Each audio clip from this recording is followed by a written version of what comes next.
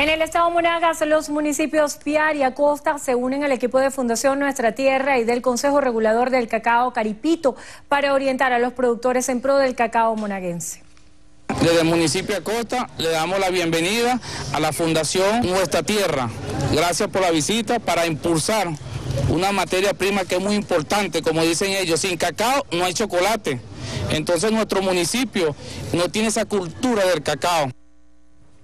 Los productores de Piar también agradecieron a Fundatierra por el apoyo hacia el área cacaotera de esta zona de Monagas. Porque realmente el cacao tiene una, esencia que es como la educación venezolana, es enseñar a conocer el hacer y el convivir, porque el cacao es un, fruto, si se quiere, social, que permite la unidad familiar y ojalá pues que el Estado venezolano nos siga dando este apoyo para que los pequeños productores de cacao de este municipio en un tiempo no muy lejano podamos decir que este municipio podía pasar a ser, desde el estado de Monaga, el primer municipio productor de cacao porque tenemos las condiciones agroecológicas muy buenas para lograr ese objetivo de esa meta que nos deseamos.